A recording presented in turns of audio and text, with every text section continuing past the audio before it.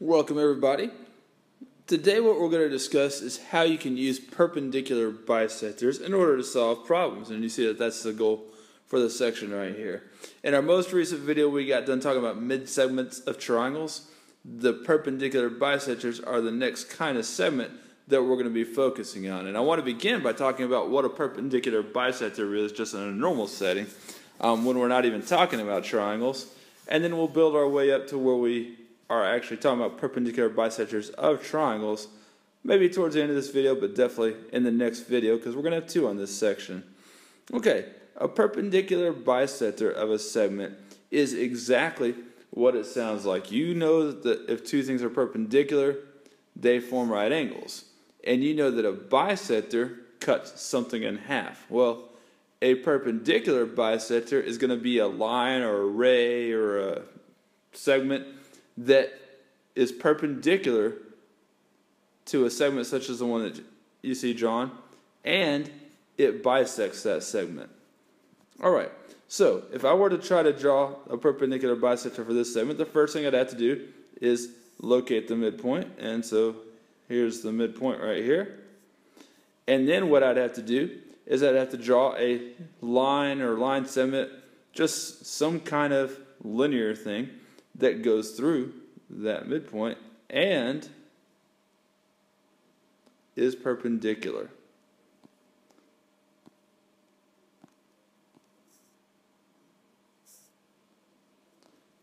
All right, so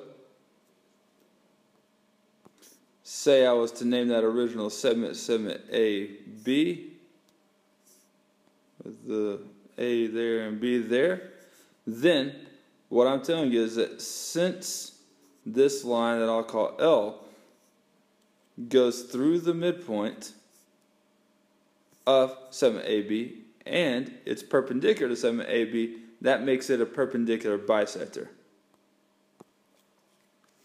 I believe that definition makes sense to you there.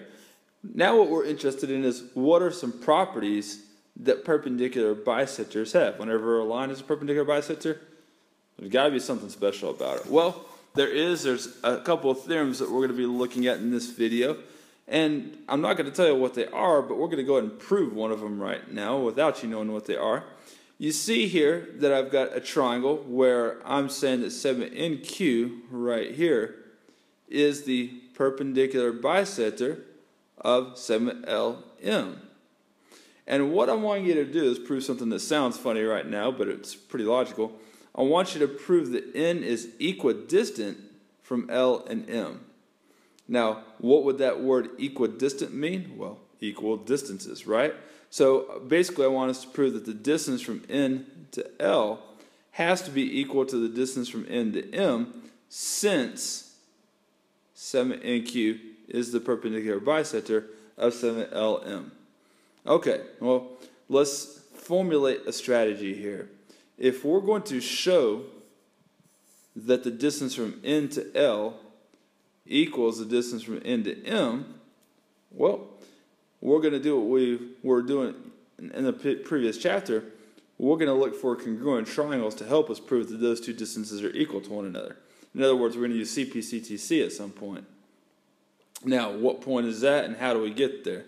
Well, let's go ahead and mark the information that's given to us because of the perpendicular bisector, we know that segment LQ is congruent to segment MQ, and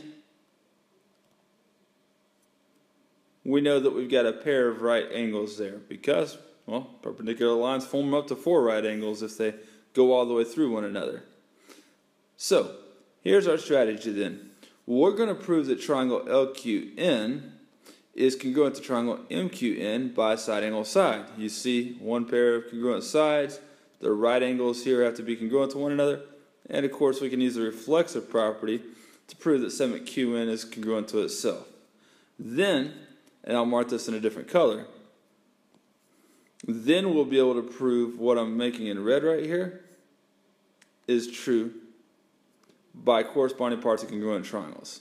In fact, if you know how to write this proof, try it on your own, then come back and see what I've done. Now, so far, I've written the given information that segment NQ is the perpendicular bisector of segment LM, and we want to see what conclusions we can make on that. And well, there's two things that the a perpendicular bisector tells us about a segment. It tells us that it divides one segment into two. Okay, so we can conclude that segment LQ is congruent to segment MQ because of this fact. And it tells us that there are right angles involved, doesn't it? So we'll be able to say angle MQL and angle N or LQN are both right angles because of this perpendicular bisector. Now those follow for the same reason, and so I'm going to give them in the same statement. Now what's the reason that we know that these segments are congruent and that these two angles are right angles over here? Well, I said it's because we know there's a, a perpendicular bisector. And what I'm trying to get you to understand then is that we're using the definition of a perpendicular bisector in order to make that conclusion. All right, so the next step in our proof, remember we're trying to prove that these two triangles are congruent, and we have, well, a couple things to do before we're able to do that. I've shown you that there's one pair of congruent sides so far, and that there's right angles, but we have to prove that those right angles are congruent. Easily done. And of course, we need to prove that the second pair of sides are going to be congruent, so we can use SAS. Well, let's go for the angles right now. Angle LQN is congruent to angle MQN because right angles are congruent and segment QN is congruent to segment QN because of the reflexive property. And we've got our side angle side right here. So triangle LQN is congruent to triangle MQN based on side angle side. Alright, now our goal was of course to prove that N is equidistant from L and M. And so we needed to be able to say this in order to say that. We need to be able to say that segment NL is congruent to segment NM, which we can now say is true because of because corresponding parts of congruent triangles are congruent, CPCTC.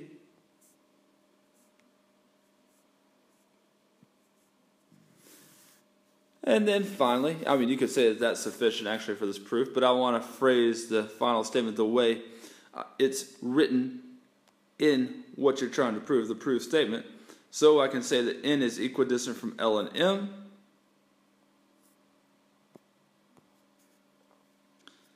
Now I'm using the fact that the distance from N to L is congruent to the distance from N to M to make that conclusion. So I'm using the definition of the word equidistant to go from this statement to this statement. Okay, so what was the point of that whole exercise? Well, what we just did is what I alluded to earlier. We proved a theorem, the theorem that happens to be called the perpendicular bisector theorem, which I'm going to be teaching you right now. And here's what the perpendicular bisector theorem says. If you have a perpendicular bisector of a segment, which let's say we have there with L, whenever you see that these two segments are congruent and there's a right angle, that means segment L or line L is the perpendicular bisector to that segment. If you have a perpendicular bisector of a segment, you can pick any point that lies on the perpendicular bisector. Let's say we put a point right here. And it's guaranteed that that point will be equidistant from the endpoints of the segment that's being bisected. So this point, which let's just call that C, has to be equidistant from the endpoints of segment AB just because it lies on the perpendicular bisector. And can't you see how you could use side angle side to prove that the two triangles that I just formed were congruent, which would make AC and BC congruent parts of corresponding triangles? All right. Now, I don't care where you put the point along this perpendicular bisector. Any point on this perpendicular bisector was going to be equidistant from A and B. Let me just draw one more pair just to emphasize that. Let's say we put a point D over here. That's on the perpendicular bisector and the distance from D, let me label that, to B is the same as the distance from D to A. All right, so listen to me carefully here. if a point lies on the perpendicular bisector of a segment, then that point is equidistant from the endpoints of the segment. There you go. I'll put that in terms of what I've drawn in the picture here. Since L is a perpendicular bisector of segment AB, then we can say that the distance from C to A equals the distance from C to B, and the distance from D to A equals the distance from D to B, and truly, the distance from any point on line L to A and B is going to be the same. All right, that's a perpendicular bisector theorem. Now let's put that into practice. By the way, before I do the putting into practice, the converse is, is true as well. Anytime you can show that one point is equidistant from the endpoints of a segment, that means if you were to draw the perpendicular bisector, this point would lie on that perpendicular bisector. So there's the perpendicular bisector theorem, then there's the converse of the perpendicular bisector theorem. We'll be using both in the next couple of examples. Well, throughout the course of the next couple of examples, we'll use each. That's what I should say. All right, what I'd like us to do is to find the values of the variables in this picture. And well, we need to analyze the picture a little bit. The one thing I need you to notice here is these markings that you see that indicates that segment PQ is the perpendicular bisector of segment RS. All right, and you can see I've got X, Y, and Z for us to find. Well, we're simply going to apply the perpendicular bisector theorem here in order to find out what each of these variables are. And since we know that segment PQ is a perpendicular bisector and P is on that perpendicular bisector, well, that would mean that P is equidistant from the endpoints R and S. So PR equals PS, and that tells me that 24 equals to 7x minus 11. And if you add 11 to 24, you get 35. Divide 35 by 7, you get 5. That tells me x is equal to 5. Well, what about y? This point T is also on the perpendicular bisector of segment RS. In fact, it's the point of intersection for the, those two segments. And it has to be equidistant from R and S. It is the midpoint of them after all, right? So we could say that TR equals TS.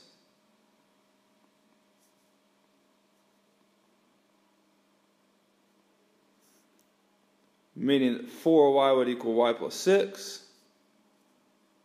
And that would give you 3y equals 6. y is equal to 2.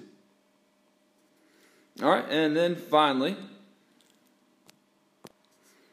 point Q also lies on that perpendicular bisector for segment RS, so the distance from it to R has to be equal to the same as the distance from it to S, correct? Those two distances are going to be the same.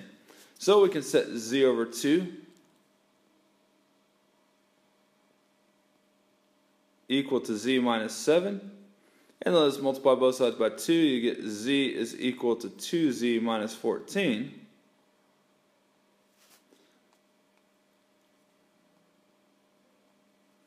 So negative z equals negative 14. And that tells me that z is equal to positive 14. All right, so any point on a perpendicular bisector of a segment is equidistant from the endpoints of the segment. I think we've got that covered by now. Let's look at that from the opposite perspective.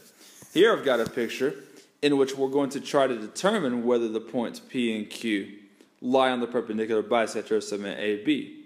Now you can see that I drew this line here. I didn't label L or M or N or anything, but at any rate, that line is clearly marked as the perpendicular bisector of this segment AB, isn't it?